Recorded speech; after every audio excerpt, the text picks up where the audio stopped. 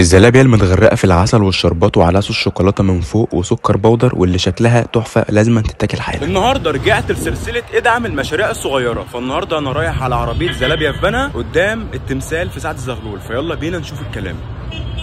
دي عربية زلابيا في بنها صاحبها اللي قدامكم دوت اسمه محمد عبد القادر. محمد شاب عنده 30 سنة خريج جامعة بنها.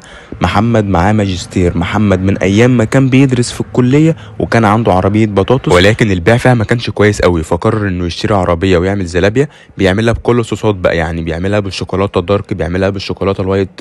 بيرش عليها بقى سكر من فوق وزي ما أنت عايز. بيبيع بقى من أول 10 جنيه 15 جنيه آه 20 جنيه زي ما أنت عايز براحتك. جامدة يا عم والله. أول مرة اكلها في حياتي على فكرة. والله العظيم جامدة.